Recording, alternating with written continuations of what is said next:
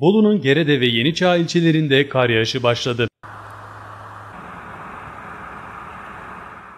Gerede ve Yeniçağ'da gün içinde devam eden sağanak yerini akşam saatlerinde kar yağışına bıraktı.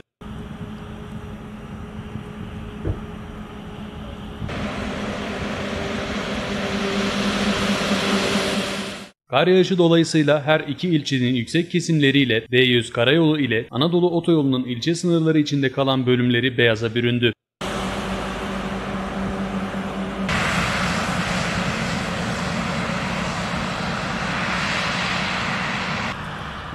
Karayolları ekipleri D100 Karayolu'nun Gerede, Yeniçağ ve Köroğlu mevkilerinde karla mücadele çalışması kapsamında tuzlama yaparken trafik ekipleri de sürücüleri dikkatli seyretmeleri konusunda uyardı.